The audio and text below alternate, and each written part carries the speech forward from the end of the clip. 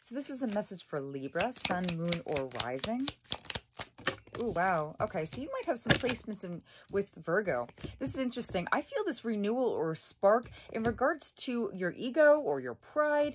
Um, but I feel like, or this could be somebody from your past that had a bit of ego or pride um, wanting a renewal with you, okay? If that's not the case for you, just know that um, you are stepping into your North Node. It's what you're meant to be doing in this lifetime, okay? So I definitely feel like you um, really, really connecting with you, um, really, really seeing you and putting yourself first, okay?